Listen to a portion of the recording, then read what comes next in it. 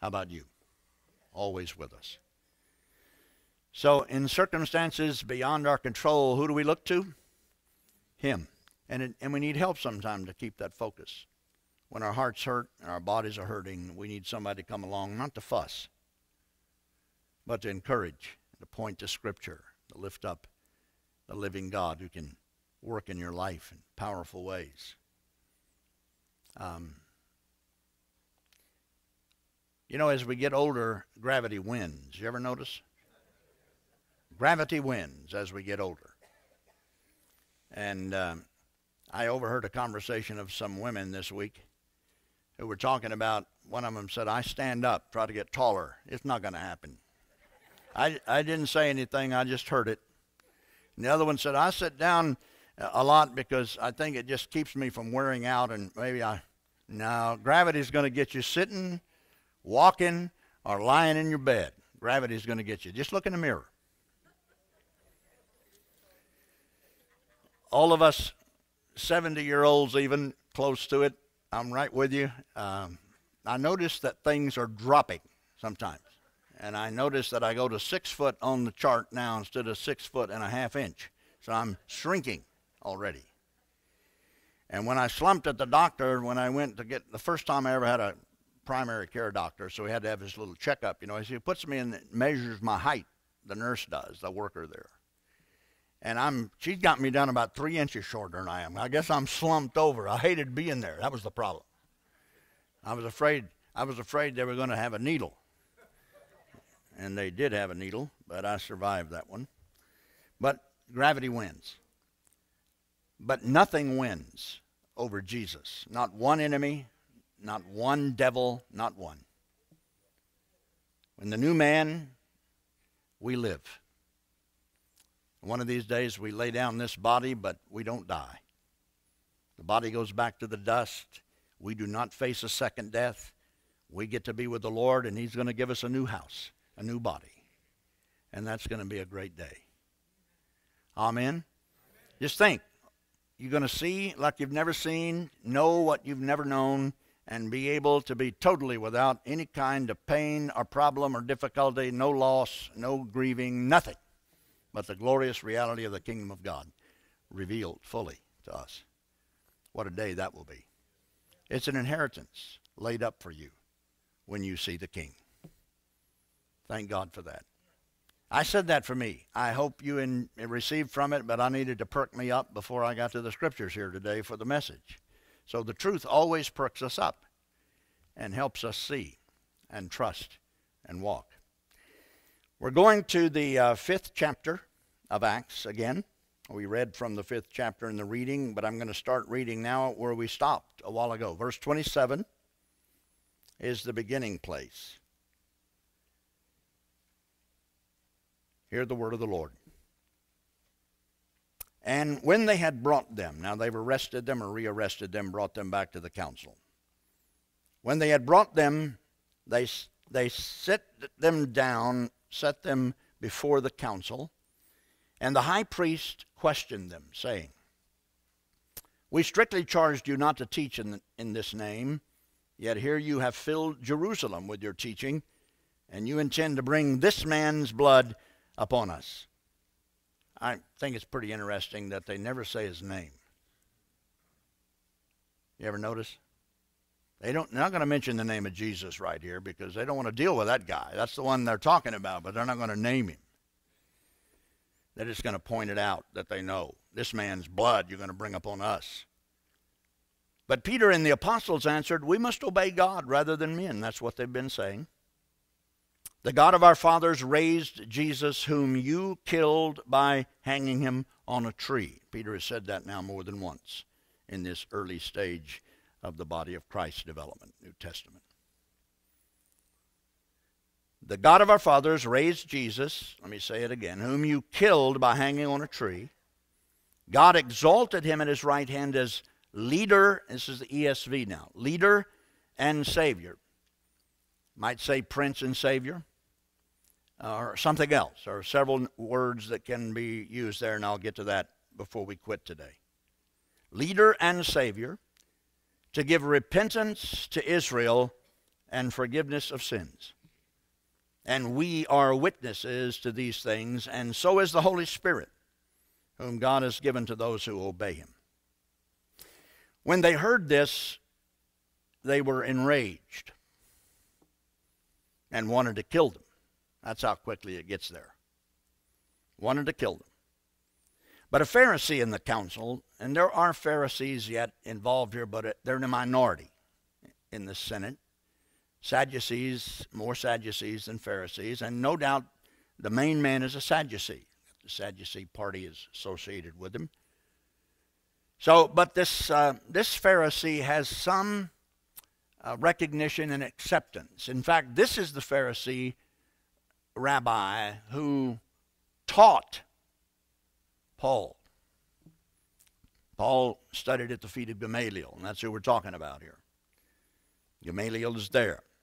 Pharisee in the council named Gamaliel, a teacher of the law, held in honor by all the people, stood up and gave orders to put the men outside for a little while. And he said to the men of Israel, Take care what you are about to do with these men, for before these days Theudas rose up, claiming to be somebody, and a number of men, about 400, joined him. He was killed, and all who followed him were dispersed and came to nothing. After him, Judas the Galilean rose up in the days of the census and drew away some of the people after him. He too perished, and all who followed him were scattered. So, in the present case, Gamaliel says, I tell you, keep away from these men and let them alone. For if this plan or this undertaking is of man, it will fail. But if it is of God, you will not be able to overthrow them. You might even be found opposing God. So they took his advice, and when they had called in the apostles, they beat them. Now that's a change. They beat them this time, whipped them, and charged them not to speak in the name of Jesus and let them go. Then they left the presence of the council. Listen, what, they, what are they doing? Rejoicing that they were counted worthy to suffer dishonor for the name. Counting it a joy, a rejoicing thing to suffer for him. And every day in the temple, notice how they slow down. Every day in the temple and from house to house, they did not cease teaching and preaching that the Christ is Jesus. He's the Messiah. He's the anointed one. He's God's man, God's Redeemer. Jesus is. They didn't slow down at all. And may the Lord add his blessing to the reading and the hearing of that word as well. Last week we were we were looking at this phrase in verse 32 of chapter 4, and we didn't get very far beyond it really. Now the full number verse 32 says, Of those who believed were of one heart and one soul, or one heart and soul. And no one said that any of the things that belonged to him was his own, but they had everything in common, meaning that everything they had would be available if needed to minister to those who needed anything among them. What we get is one heart and mind and a mindset that is produced by what the Lord has done in the hearts of this people. It's not just a human flesh decision to look at their goods in a different way. They look at their possessions in a different way because they have been changed on the inside and connected not only to the Lord, but in heart and soul to one another. They were family. They were together as one. They were not families now in that context. They were family. And he was in charge of what he wanted to do with their lives, their time, their energy, their possessions. And it's still the same. We're still stewards of everything we possess. We answer not to men, but to God. We don't build a gathering of all the goods and say, now we have this common pot, everybody put it in. We don't do that. And they didn't do that. They simply met the needs of the people among them who were their brothers and sisters, and they did it out of a heart which was one, out of a soul that was one in the body of Christ. And of course, then we talked about a little bit about Barnabas, who sold his property and gave everything that he got for it to the apostles to see, oversee it in that use. And then for the copycats, Ananias and Sapphira, who decided they would sell a piece of property and act like they gave everything they got, only they would keep back some for themselves. And that's what they did. That was the problem. It was deceit, it was hypocrisy, it was lying. All those things are revealed in Scripture, and God dealt with it pretty aggressively. No human being had anything to do with the death of either the man or his wife. Peter is telling him what has happened and announces the fact that he's going to die, but he doesn't touch him. Nobody touches him. He just dies. The shock of it, the reality of it. God dealing with his church, maintaining the purity that goes with one heart and one mind congregation, and keeps them aware that this holiness that is part of everything they are, God takes very seriously.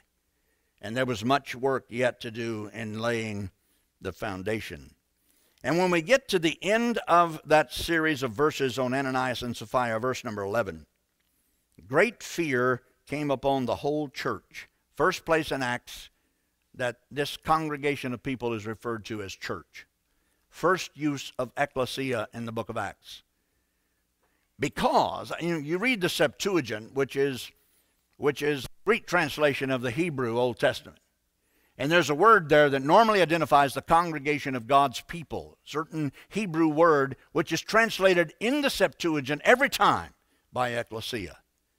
So there is a purposed use of the word right here saying these people in Jerusalem at this time are truly God's chosen people. They're part of the congregation of God. These people that are believing on Jesus, these people who are being transformed in heart and soul. You people who have been born again and made new and indwelt by the Holy Spirit, you people who confess Jesus Christ as Savior and Lord, you are among God's people, the congregation that belongs to Him. Anybody happy with that? They get up in the morning, and who's the commander in chief? Jesus Christ is. Who is the God who rules over all? The God who created everything through His Son, the God who is marvelously at work in His church. That's who we serve and worship and walk with. Wow. That's good. That is very good, in fact. Now, let me, let me look at verses 12 through 16 for a moment. Um, then we'll, we'll do a little bit of what the story is and their punishment. And then I want to focus on a couple of words to finish today, okay? Um, verse 12 of chapter 5, when you read this, what, how do you feel when you read this? I mean, nobody they didn't go to the newspaper and take out an ad that says, if you'll bring your, your sick people onto the street tomorrow, Brother Peter's going to walk down through here and see if we can heal them all. How many recognize there's a lot of spontaneity here that is evident of the Holy Spirit at work? Now, much of the time, as we've moved along as, as the church, particularly in an entertainment centered country like ours, we end up promoting a lot of things that probably get us in more trouble than do us much good. And I think, I think when you read this account, you ought to get excited about the fact that God can work any way He wants to, and He will decide how it's going to be. once it starts happening, people recognize it and get in on it. They don't want to miss out on it. So when I read this account, here's what it says Many signs and wonders were regularly, regularly done among the people by the hands of the apostles. All of these signs and wonder situations in this event is, are being done through the apostles. The apostles are the ones who are sent as witnesses to the resurrected Lord. They are used of God to proclaim this gospel. Peter and John are the main names at this juncture, but they're all there. So it, they were doing these, um, well, they weren't doing the miracles. They were just laying hands on people. They were just there. And they were all together in Solomon's portico. None of the rest, that is, people who were not part of the church, didn't dare jump up and run in and say, I'm a part. Nope. They didn't dare join because we just had some deaths in the church. We just had some hard dealings and they knew about it. And so, what the scripture says here is that none of the rest dared join them, but the people held them in high esteem. They didn't join them just with flippant attitudes, but they had, a, they had them in high regard, held them in high regard. They recognized something going on here. They weren't jumping on them down wanting to hurt them or get them out of town. The people were paying attention.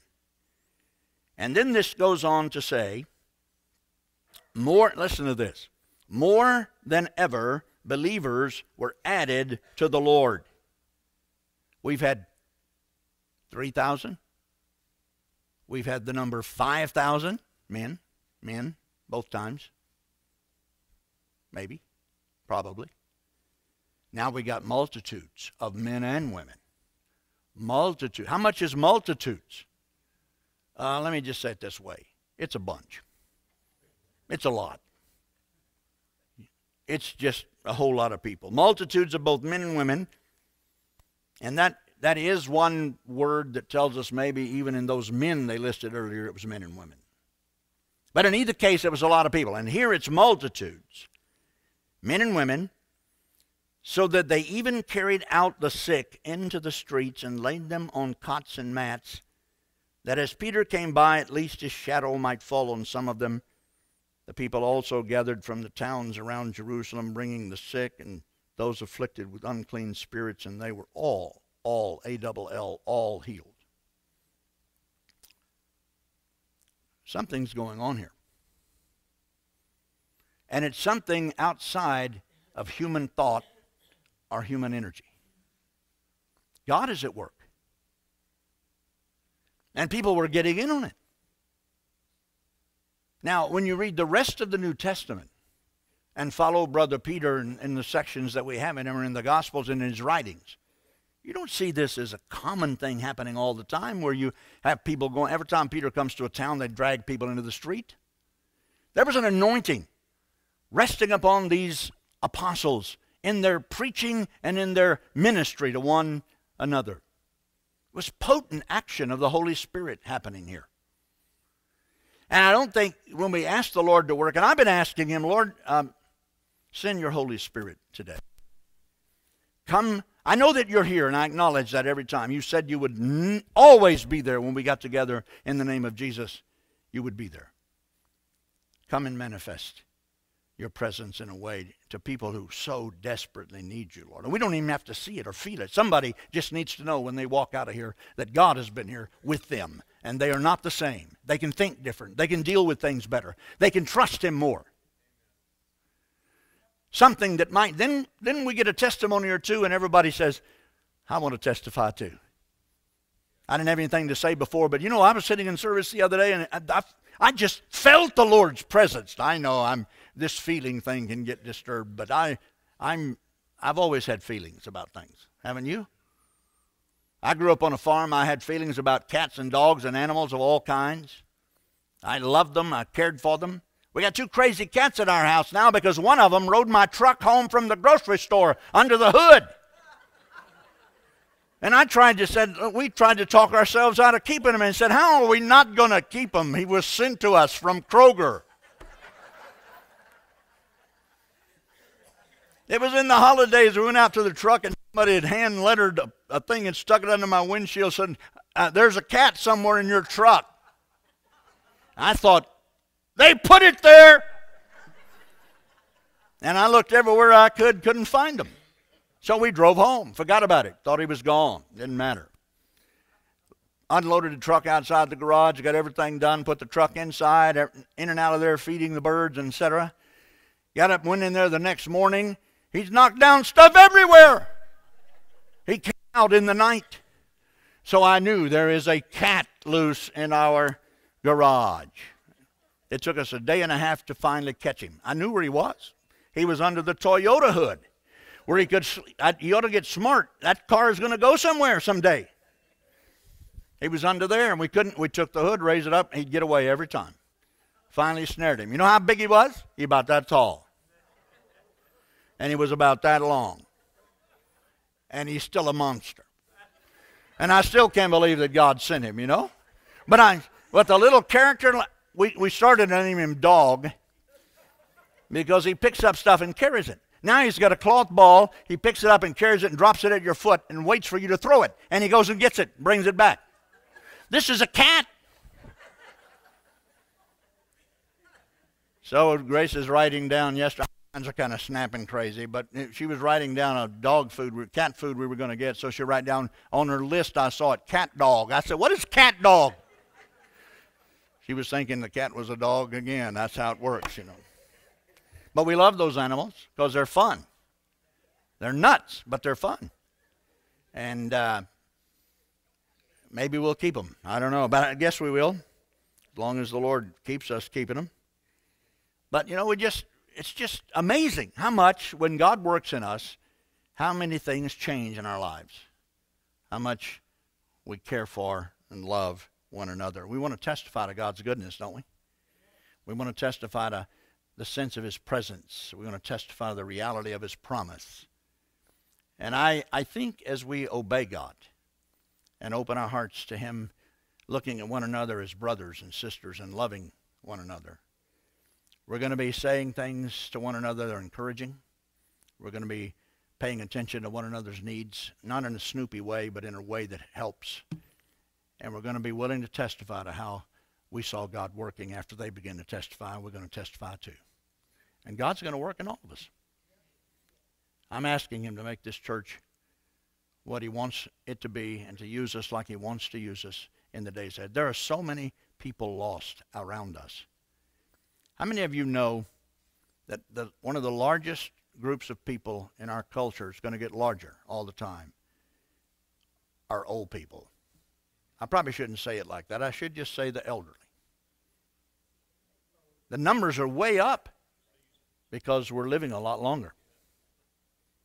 Which means that we have a whole bunch of folk, many people who've lived a long time and never met Jesus, who might be pretty ripe for hearing a good news story on the edge of home because they don't know where they're going.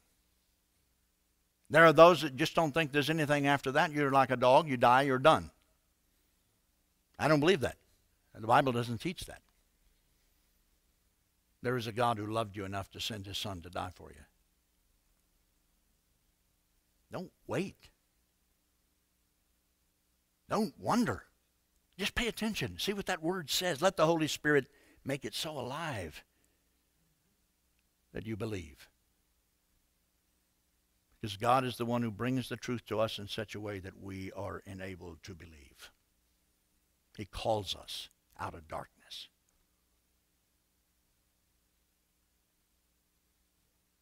I thought I was good when I was a little kid, and I was good. You asked if you, my mother was still here, she'd tell you he was a good kid. And as the years got by, she thought I was even better than good. You know, as you get older, you lose the bad stuff sometimes. But the night I got, I got, the night Jesus came into my life, I don't even know how to phrase that anymore. But he met me. I met him.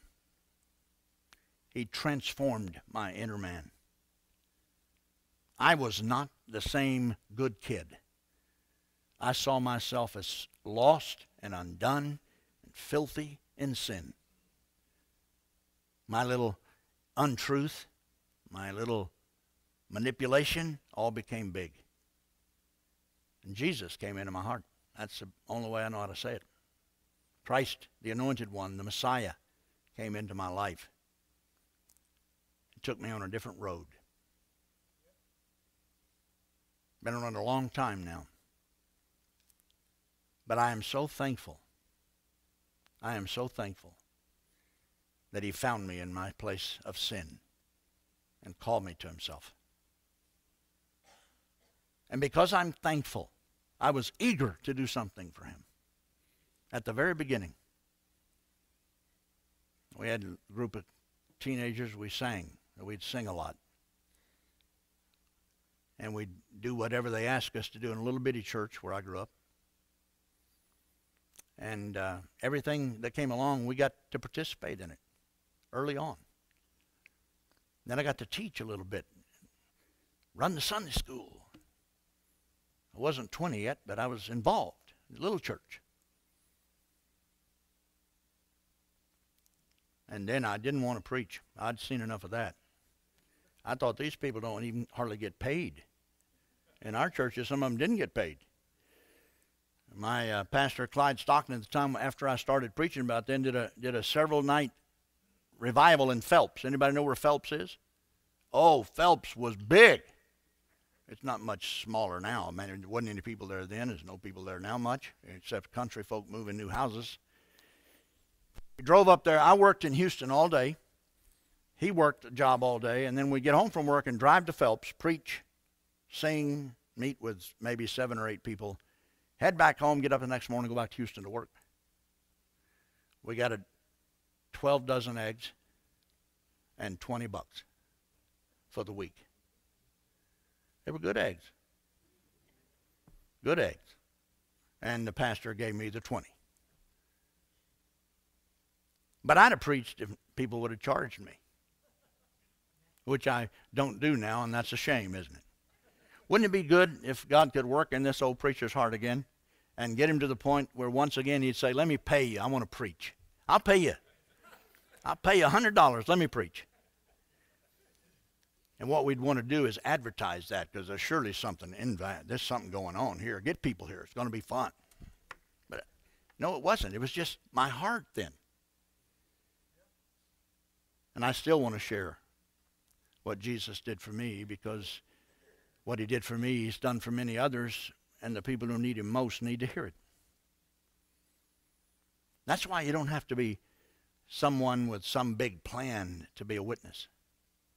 You just tell him what he's done for you. You just tell them what's happened in your life. I'm not what I used to be. I'm a sinner at one time. Now I'm saved by grace, and I still blow it sometime. But I'm telling you, my motivation is to please the Lord because He changed my heart motive. He changed my soul.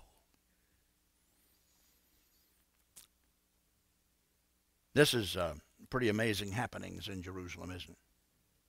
It's going to stir people up, especially the authorities, and that's what it's done. And the high, and I love this uh, slapstick comedy that's going on when they can't find him in the jail. The guards are standing by the doors, making sure nobody gets them out. Everything's in place. The locks are in position.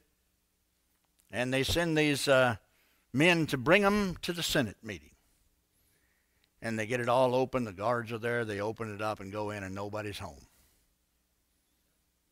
Now, what do you do with that? Well, the first thing you're going to recognize is nobody duped the guards. They're still standing here, and all the locks are in. They're, it's still shut up, but they're not here, which means something has happened pretty supernatural, I would think. See, the first time these men spent the night in jail, they didn't get out, they just stayed till the next day, remember? Just a little before this time in Acts.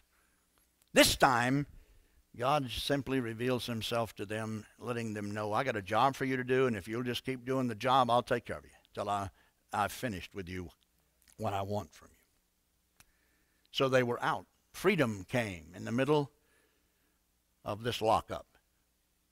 And they were instructed to go preach again where they'd been preaching, and they at daybreak, at daybreak, undoubtedly people were flowing there at daybreak.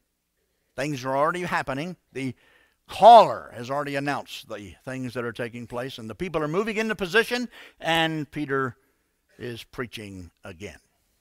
This same gospel, lifting up this same Jesus all the way along. Wow. And people are still being added to the church. Now, here's what I like about this God, when you deal with the living God and you really know you've come up to where He is, you're either repelled by Him in His majesty or you are attracted to Him in His glorious humility and love. And it all happens at the same time.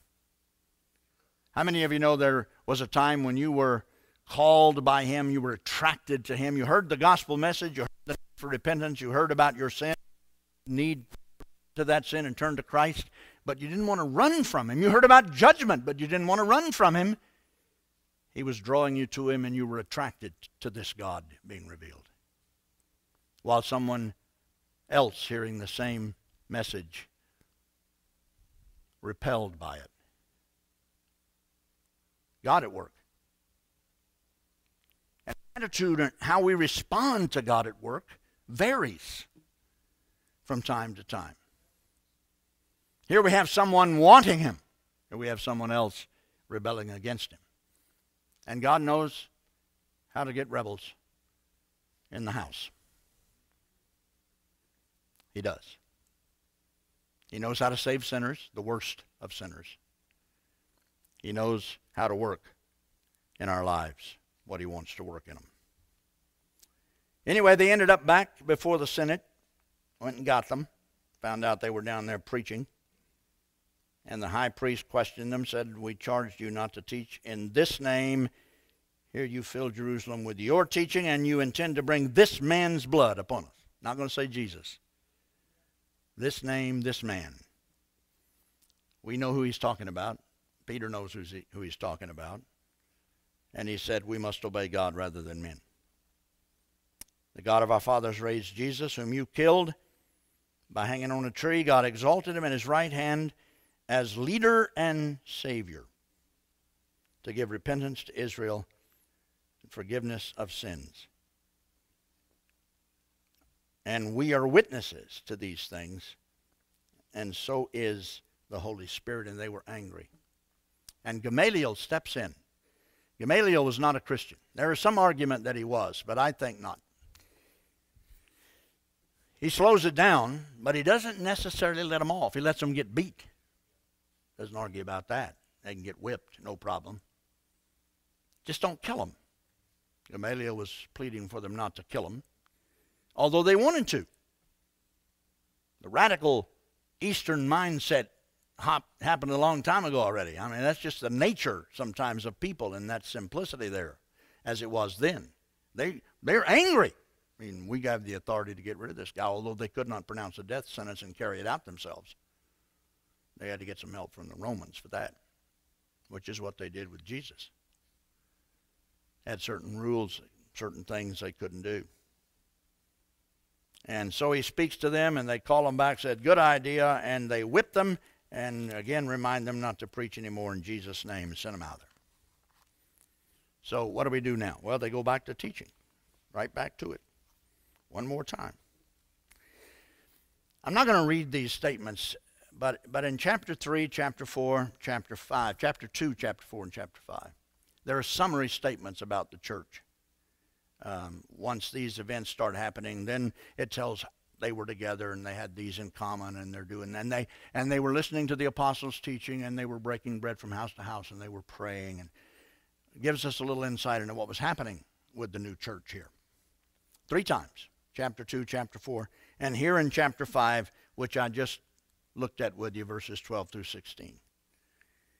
We probably could hold that mirror of a church in Jerusalem up in front of any congregation today and let us take a look for a while. And it should be challenging to us. What are we doing that requires the Holy Spirit to get it done? I guess maybe the better way to say this are we doing anything that's going to require supernatural work of the Holy Spirit to get it done. What is the one thing always that we have that does that? It's when you proclaim this gospel or tell the story of what he's done for when you share Jesus or preach the gospel, you can't save anybody. You can't, I can't change a heart. It's going to require a supernatural work of the Holy Spirit to bring regeneration to a lost person. What is my job? Believe that and proclaim. Tell it. And then leave God at work with it. Witness to the resurrection. Jesus is alive, He's present, He's at work by the Holy Spirit, and can transform your life and give you hope beyond this life. The early church had an outreach that was supernatural in power. They had an outreach where God could still work and bring them freedom even though they were locked up in bondage. They were no longer in bondage at all inside. They were free. They were free. They needed some opposition in order to sharpen who they were in Christ Jesus and make them even more effectual by depending on Him and the suffering Although we don't like to admit suffering is part of the Christian life, part of the journey of a human being, it is if we follow Jesus.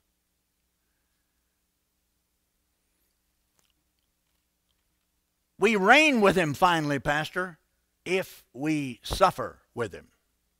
To add another part to that statement in Scripture. He gets us to that usable place in the process of how he takes us on this journey.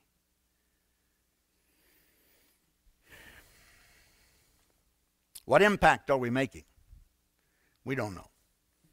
Except that if we're sharing the gospel, the impact is being made. Holy Spirit is using your testimony, your words, mine, to make a difference in life. That's what he's doing. Now, let me just take a moment and then I'll be done. I want to look at this phrase in verse 31. Chapter 5, verse 31. I read through it, pointed it out a little bit ago. Where the scripture says this God exalted him. This is after you killed him by hanging him on a tree, Peter says. God exalted him at his right hand as leader, as leader and Savior, to give repentance to Israel and forgiveness of sins. You see that? Now, let me deal with the word leader just a little bit. What anybody got a different word in there besides leader? ESV is leader. What is it, Les? Prince. That's King James. Prince and princes and several others. What is the New American Standard, Bob? You still using it? Oh, came into the world of the ESV. That's good. Prince in the yeah, it should be in the uh, New American Standard. Yep. All right. Um, the word is um, archegon. Archegon. A R C H E, long E, A sound. G O N. It's G O S, but in this usage, it's G O N, same word, root. It's only used four times in the New Testament. Four times. That's it. Every time for Jesus. Every time for Jesus. Now, the reason I said that is because I'm going to read those four verses or so. Third chapter, Acts. Back up just uh, two chapters one page probably, back to um, the third chapter, and I'll read around verse 15 so you get the, kind of the setting for it. Um, verse 14, let me back up a little before that even. 13, the God of Abraham, the God of Isaac, the God of Abraham, the God, uh, God of Jacob, the God of our fathers, glorified his servant Jesus whom you delivered over and denied in the presence of Pilate when he had decided to release him. But you denied the holy and righteous one and asked for a murderer to be granted to you. And you killed the archegon of life. Author. See that? Same word. Be translated author, leader, prince, and more. That's the other time. That's the second time in Acts, and that's the only two times we get that in Acts. You, here he is right here in verse number 15. Let me point it out one more time. And you killed the author of life. Now, when you say author of life, you would be saying maybe originator, wouldn't you? Founder. Well, those two words are also translatable with this word. True, yes. Beginner. Um, but leader as well. So here is one, and I, I think we know in our in our hearts we know this, understand it from Scripture, that Jesus is indeed the leader of God's people. Everybody know that? The leader. He's the one who came, the prince of his people. We sometimes refer to him as the Prince of Peace, the leader of the people. Let's go back to Joshua for a moment. I won't take any time with this because I don't have time, but Joshua and Jesus are the same name. You knew that, right? Joshua, coming Hebrew there, and Jesus over in Greek. Uh, we got these two names. Joshua is not exactly like Jesus, certainly. Uh, he doesn't have that supernatural stuff working. He's not, he's not Jesus, who Jesus was. But you remember when he saw the guy, met the guy with the sword? Outside of, um, what town was he going to take? Yeah, outside of Jericho. And he meets this guy carrying a sword. He sees him standing there. Let me just get the exact wording from Joshua. It'll take me a second here. There we are. When Joshua was by Jericho, he lifted up his eyes and looked, and behold, a man was standing before him with his drawn sword in his hand. This is a, a warrior, military man, a leader in warfare of some kind. And Joshua went to him and said, Are you for us or for our adversaries? Now listen to his answer No. That's what he said. Are you for us or for our adversaries? No. now we got some kind of unique situation here, don't we? He said, No, but I am the commander of the army of the Lord. I'm the commander of the army of the Lord. In other words, no, I'm not on your side. You're on mine. This is the point. You're on my side. And I read on here for just a moment, and he said, No, I'm the commander of the army of the Lord. No, but I'm the commander of the army of the Lord. Now I have come. Now I'm here. And Joshua fell on his face on the earth and worshipped and said to him, What does my Lord, my Lord, my Lord, say to his servant? And the commander of the Lord's army said to Joshua, Take off your sandals from your feet, for the place where you are standing is holy. And Joshua did so in the presence of the Lord, who is a commander, a prince, who leads the host of the Lord. Now we get a glimpse of Jesus when he comes. He's the leader. He's the ruler. And you know what makes it possible? The fact that he came as a man and lived through the whole process and overcame sin and died for sin and went to hell and came out of that grave resurrected reveals to us not only did he walk the way God wanted him to walk, he walked the way before us and now is capable of giving to us what we could never have for ourselves the very life of the Spirit of God to us. Because he not only went through that way as a man, he comes out on the other side with the capabilities of passing it to us, giving us the life, giving us the life. He's the ruler. He's the prince. He's the leader. He's the beginner. He's the author. He's the originator. Archegon. Let me read these other two and give a little more insight, and we're done. See, I'm not able to give you much except something to chew on, but that's good because you're reading your Bible every week, right? And you're chewing on Scripture every week. I see heads nodding. You got to do that. I mean, this is this is important stuff. This is God's word to His church. Just don't get choked on too much. Just start slow. If you haven't started, what am I looking for? I'm finding out as I get older, if I'm talking, my thinker kind of runs off somewhere. I'm trying to remember something. Anybody have that problem yet? I start talking, I can't remember what I'm doing. If I start doing, I can't remember what I'm saying. It's bad. It's really bad. So you're going to have to help me preach the next year or so here, get it done, right? Just so just wave, raise your hand and say, I can help you. I'll let you. Hebrews chapter 2, verse 10. Um, we're looking for, for this uh, founder of, of salvation here. Now, back up to verse 8. We see him, that is, we don't see everything in subjection to him yet, the writer to the Hebrews said, thinking about this Messiah. But we see him, verse 9, 8, 9. But we see him who for a little while was made lower than the angels, namely Jesus, crowned with glory and honor because of the suffering of death, so that by the grace of God he might taste death for who? Everyone. Now, verse 10.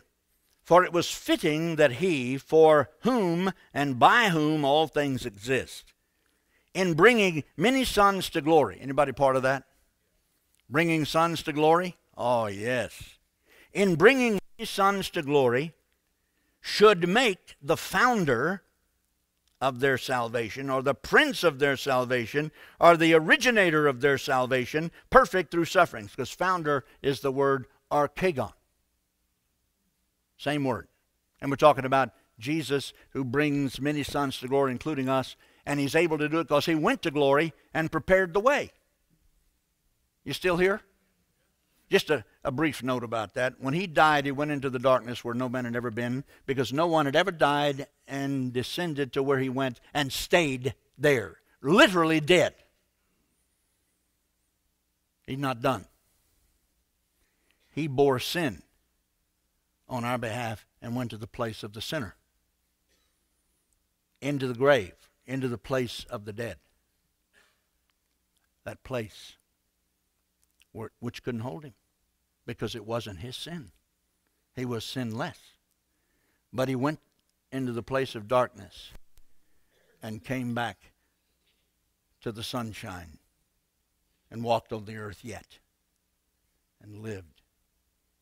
And it's that whole process of dying, being buried, being raised, and ascending that makes possible my salvation. He's the founder by his journey of salvation for you and me. The originator, he as a man walked there.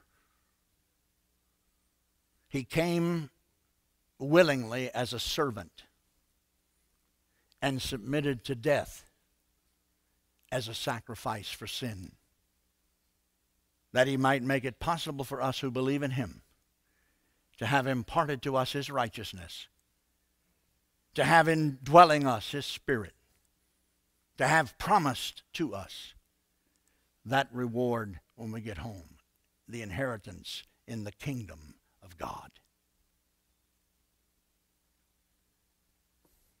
The founder of our salvation.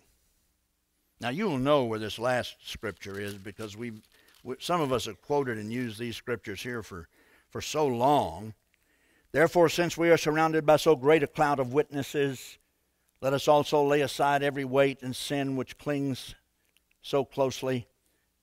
This is 12:1 in Hebrews. Let us also lay aside every weight and the sin which clings so closely. Let us run with endurance the race that is set before us. Looking to Jesus, the founder, the ESV says.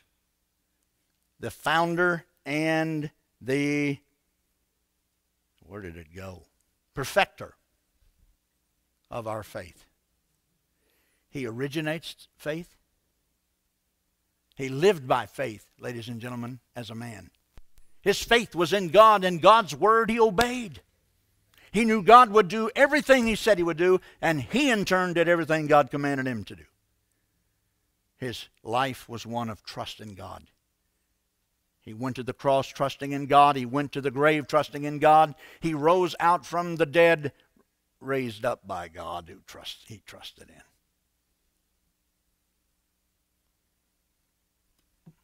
I should slow down every now and then and say things with space in between, shouldn't I? So we could think about it. Because it's important to think about. Looking to Jesus, the author is the old King James word, remember? The author, same, same word again. Same word. Author and finisher. New, that's the King James. Author and finisher. I like that. He made this salvation possible for you, and He is in the process of finishing it. And he will, this great salvation, finish it when he comes again to receive us unto himself, and the inheritance is bestowed. Salvation done. Home. we arrive. Wow. Guess who's leading the church at the very beginning in Jerusalem? Guess who is the leader? It's the one who has died and been raised and ascended and promised to come again, who's at work through those apostles, and he is accomplishing what his salvation makes possible in the lives of men and women who will listen and believe. So that everyone who hears what Peter, John, and others are preaching and believes it have imparted to them this great life gift that Jesus bought and paid for in his own blood. You're blessed, and I am too, because of the gospel of Jesus Christ. Leader, originator, maybe both. Just keep them together, because that's who he is. What he accomplished, he is able to deliver to you. What he has done, he's able to bring us into. He went through suffering, yes. We follow him through suffering but suffering only shapes us. We're disciplined even by the Father as we live if we're truly His. Why? So that we don't get taken over by the world, so that we don't lose the reality of who we are and what it means to be shaped by Him for the glory to come. Amen. Let's pray. Father, what a privilege always to come and sit at your feet and to open our hearts to your word. And like a little bird, sit and open our hearts, like opening our mouth and say, Lord, feed me, teach me, shape me, make me, that I might fly with you. Thank you, Father, for working in every life here. And if there's a one single person or two or three who've never really surrendered to you and surrendered their life to this life giving reality that you bring, May you touch their hearts today and start the process. May you love them until they know they're being loved. In Jesus' name, amen. amen. If you want prayer,